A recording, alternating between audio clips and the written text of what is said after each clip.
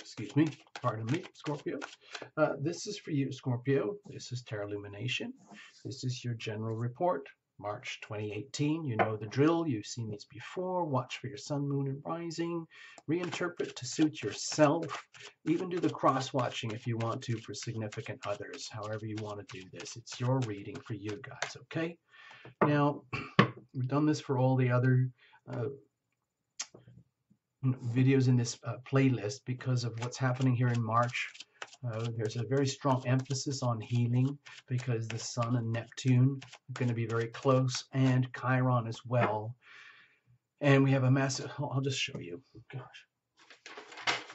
Okay, look. So here you go, Scorpio. Look. There we are. This is like a universal chart. Oh, there's there's the Pisces energy over here. Uh, so we have a massive cluster, especially Feb 25th to March 4th. But even right towards the end of March, I think March 17, we got the big uh, Pisces new moon. So uh, in general, it's a strong emphasis on Pisces Neptune energy, Sun, uh, Neptune, uh, Mercury, Venus, Chiron, and then eventually the moon here as well. Uh, I think it's the 17th of March. So please pay very, very close attention, Scorpio. The thing about this particular pattern, I feel, is that even though the Pisces energy is typically very harmonious for you, Scorpio, it's just a, you know, it's a water sign like you. The thing is, with the Chiron thing going on, I think uh, where it's happening in your fifth house, uh, you could witness like a double-sided thing where you can see all these beautiful things happening, like in your place of true love, love, romance, and literally uh, love. This is not a love reading, but it's going to be a very strong emphasis on that part of your life business, creativity, self expression, risk, happiness, uh, joy, the feelings of joy, but also a deep awareness of uh, what's not working there because everything's going to be lit up. The whole house, the whole of your fifth house is going to be seriously lit up uh, with a, an emphasis on, uh, with the Chiron thing about what's not working there. So please see this as a tremendous opportunity for you. You might be one of the lucky ones through March, Scorpio, in that you do get to uh, enjoy a lot of the benefits of this transit and and, and also uh, in, in both ways in terms of the healing and the and the benefits just simply because it's so harmonious for you. So let's go for it. No jumpers, no pliers, no oracles, no reversals, not enough time, not enough room. We're going to use that journey of the heart spread, okay? Where every beat of the heart counts, where it's all about you uh, nurturing yourself, loving yourself first, which is paramount to, to, a good life, to a life well lived. You don't have to be constantly, um, you know, giving it away. Cards are already shuffled, okay? We're going to go into it. Tarot Lumination angels are here, okay? And I invite you to uh, bring your own into the room as well. And so we can make it a team effort. All right, here we go. Core, heart, soul, energy. All right. Pulsing, pulsing, pulsing, pulsing. Always needing what it needs. Always uh, pumping out what it doesn't need. Uh, the nutrients and the waste. Nutrients in, waste out. Okay, that's kind of your life anyway, uh, Scorpio. You're very much a, a, very alchemical kind of soul about uh, processing waste. Legacy energy. What are you bringing in with you, Scorpio? Uh, you know, we had the Leo Aquarius eclipses, and they might have been pretty bumpy on you because those are hard squares for you. Who knows? Maybe you got through it and you're already healing coming out the other side, but it is a long term cycle. It's a big wave and it's going to uh, repeat echo again uh, in the middle of the year with the Leo Aquarius axis again. But on top of that wave is the Pisces wave happening right now. So it's kind of a weird combo. What about the now? This is the ever-present now where you hold all your power. Okay? And over here where you're holding all your power is where you get to express your power through the healing power of your decisions. So heartbeat by heartbeat, how are you going to make your decisions? How exactly are you going to do that in a way that works for you? So literally, You're feeding and nurturing your heart here. And of course, if we do it effectively, consequently, what do we get? Well, you're going to get this kind of energy, whatever. The thing is that this is sort of to do with consequential energy from just living the journey itself. You know, whether you make good or bad decisions. But what I, the point I'm trying to make here is if you are, are one of those people, you outsource your decisions, you outsource your life to other people, other entities, and all your decisions are made for you, then your life could feel like fate. Otherwise, um, like if something great happens, oh well, it's just fated. If something awful happens, well, it's just fated. You know, it just happened. You know, and then all this this becomes redundant. You know, but what's the point of being alive? You know, this is an amazing gift we have to be alive on this planet. It's a mind-boggling experience, and we're here to make the most of it, healing ourselves, providing uh, love and healing to others. So what if you mess up on your decisions? There's what are you going to lose? What if you make good, consistent, loving, self-nurturing decisions? How does that work for you? And what does this take us into for the next pulse, the next beat of the heart? Please see the heart shape there, okay? And please see this heart pumping at the very core. The heart knows what it needs, knows what it wants, even if you don't. Hopefully you're going to get really tuned into the heart energy. So many of us need to start to live from our heart outwards, not from our brain. Okay? Well, less from our brain. Because all of that stuff doesn't matter. Because if the heart is uh, undernourished or impoverished, then nothing else matters. Circumstantial energy. We have the Five of Wands. Think of this as weather, Scorpio.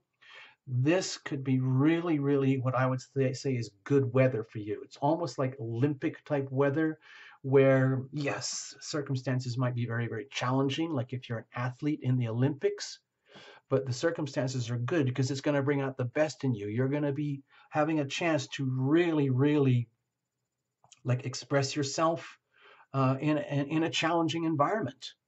And sometimes that's the best way for us to learn and grow, where we deliberately embrace the opportunity of the surroundings. Like we, where like if you can sense Scorpio, like you are kind of in a really fortuitous spot right now where you can see the challenges, but you can also see how this is a great opportunity for you to, let's say, uh, enjoy this and uh, show your best side here. Okay, let's have a look at the core. What's going on here? Okay, I feel appreciation here where it's almost like the heart is saying, I know who I am, I know what I've got, and I want to be uh, appreciated and loved by others in the way that I love and appreciate others. I know that I am a work in progress, but please understand, I accept that you guys are a work in progress too. And let's, instead of, you know, people, you know, going against each other, you know, which is a great way to bring out the best of circumstances, what happens when you pool these resources, pull, pull all this passion, all this energy, and turn it into something amazing? You're probably the only one on the planet who can do this, Scorpio. But my that's what my heart feels here is that your heart is wanting to be with your people. Like you want to be with people who get you and there are people out there who want to be with you because even though you are a work in progress, Scorpio, whatever it is you're doing, it's something very valuable and very precious. And people are noticing that. Your heart is noticing that. And you need to be aware of that. You need to be aware of how valuable you are. Your heart wants you to know. It's sending a loud signal. Hey, dear Scorpio, I am your heart. You don't have a life without me. Thank you very much. I want you to know that uh, you are awesome. You're doing a great job, and I'm here at your heart core doing an amazing job. We are a work in progress. We are evolving and we are being appreciated by others, and you are appreciating the others too. We don't want to forget that we don't want to, let's just say, think that you've got everything figured out. If you think of yourself as a work in progress and that we are going through some very fortuitous uh, times for you, Scorpio, to evolve and grow and get yourself closer and closer to the people or a person who really, really gets you like it's probably time. This is not a cups card, but it could be a really good time for you to really integrate, really, really, really integrate with yourself and the world, and particularly with a significant other. This is not a relationship reading, okay? But just it's like that kind of love is as love does, where it isn't all romance and flowers and fairy tales and poetry and chocolate. It's much more about uh, that deep mutual appreciation of self and others and others and self in a team environment. What are you bringing in with you? Okay, more pentacles here with the nine of pentacles. It's it feels like you kind of understand this already and it's starting to show. It's like part of you has been craving this for a long time and you've got certain hallmarks and let's say credentials that indicate that you're already in a state of what I would call uh, like independent wealth where you're not having to be totally beholden to other people's and other systems. You're like self sustaining. It's almost like being self employed. It's almost the energy of uh, not only being self employed, but successfully self employed. And that's kind of like like maybe a business model or blueprint for life that you're bringing in with you right now like this is kind of let's say let's just say here you are, you're watching the video, Tarot Lumination, blah, blah, and you walk into the room. Hi. Well, yeah, I'm very, very independently minded, and I'd like to stay and grow and improve this way. I have a lot of gifts and talents that uh, could be, let's say, monetized in this way uh, in terms of love, home, family, career, uh, whatever it is, a business or something. And I want to make the most of it. Thank you very much. So I feel this is very wholesome energy in which to uh, come into the meeting, with which to come into the meeting, okay? So I'm kind of happy for you. I'm kind of jealous of you, Scorpio, quite frankly, with this reading. So let's have a look. What about the now? Okay, well, to me it feels like you're riding the wave.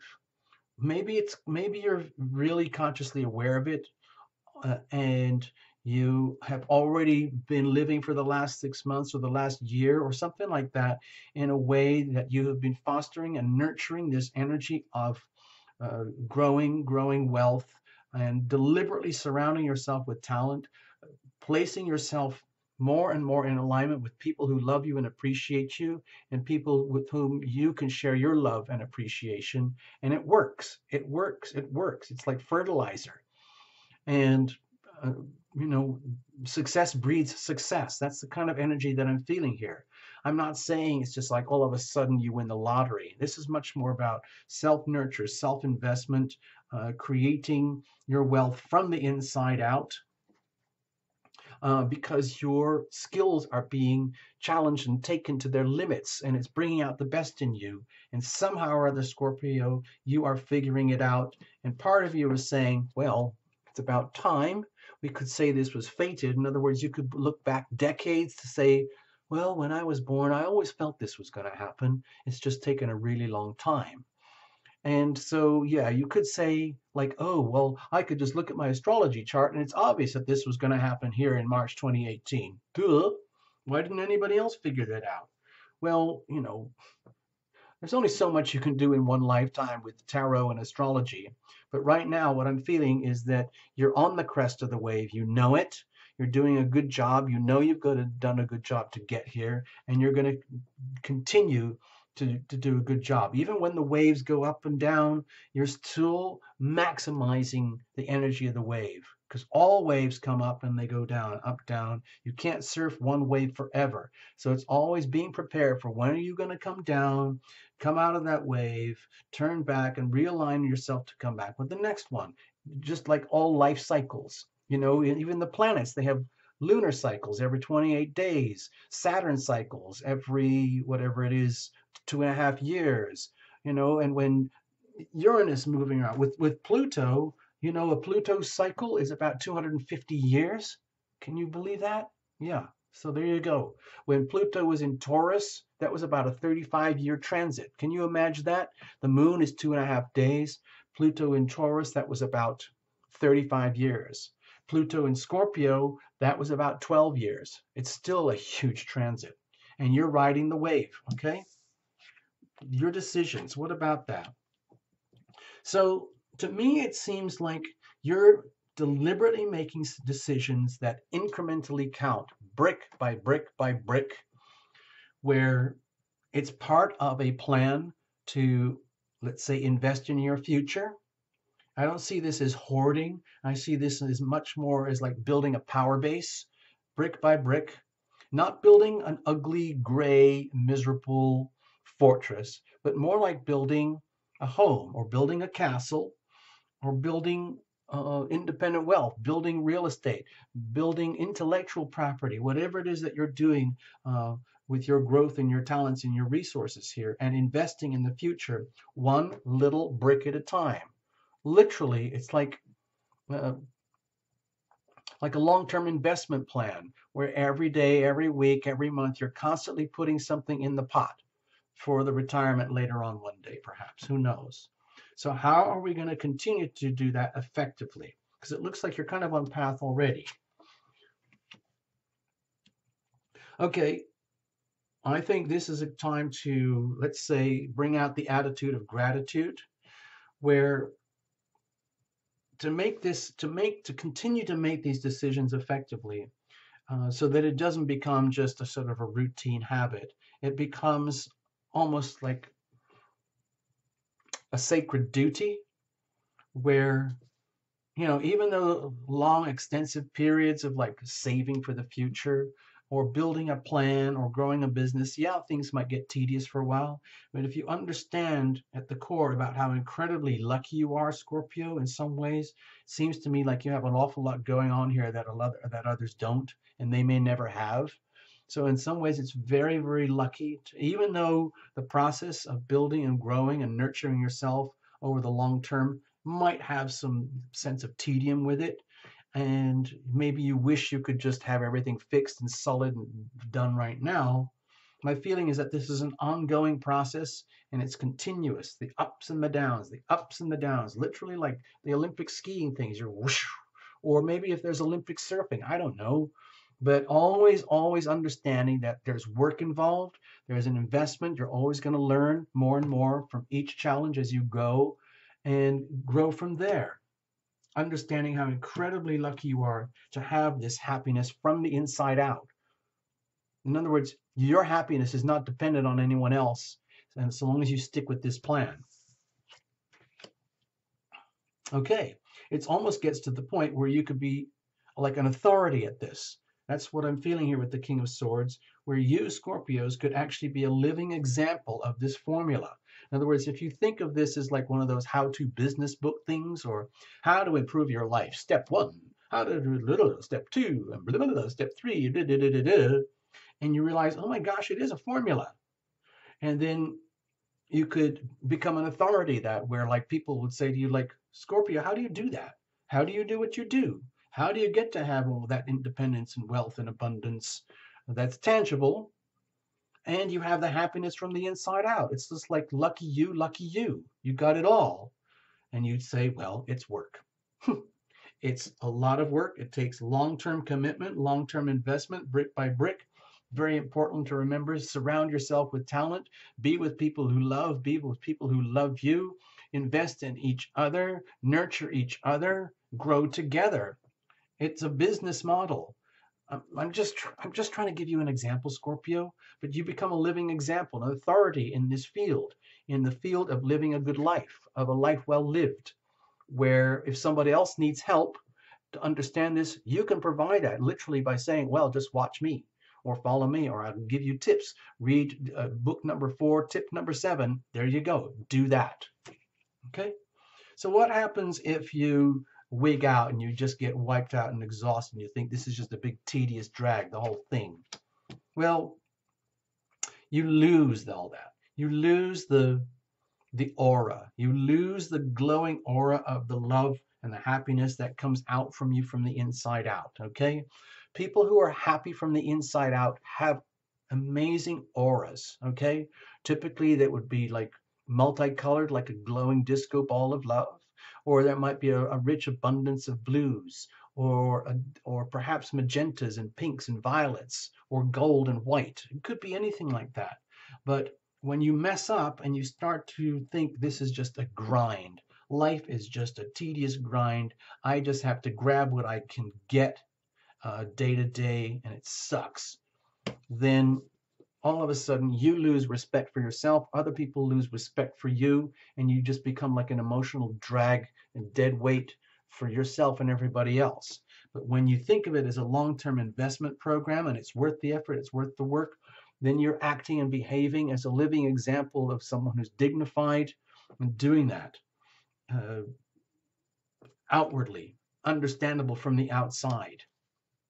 Again, like an official, someone who is literally an authority in that field, someone who has command over their heart, over their emotions, someone who understands how incredibly lucky and fortunate they are to have the, the to have happiness from the inside out and have a formula for that to work. Okay, prospects. Let's have a look. Okay, like it never stops, people. It's just like I keep telling you, everybody. It's so simple. You just get up in the morning, live your life, invoke your angels, bring them in as a team. Think of it as a team effort. Surround yourself with talent. Understand that it's all on you in the end anyway. Learn how to ride the waves when it gets bumpy. Sure, yeah. Uh, but learn, learn, learn and grow, learn and grow, learn and grow. Invest, invest, invest, invest for the future. Always see every challenge as a chance for you to grow and evolve. Okay, so I was just trying to like talk as though I was the Scorpio King of Swords here. So I'm just telling you, man, it's a formula. It's a formula. It never stops.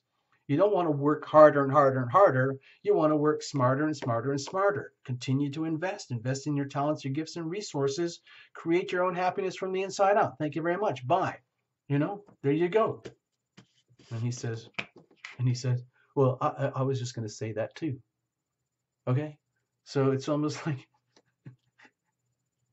you become your own best buddy and you still have really good mates. Surround yourself with talent.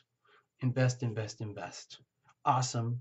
Well done, Scorpio. All the best. I hope you make the most of this and reinterpret however you want. Okay? It could be a completely different reading uh, from someone else's perspective. All right. Bye now.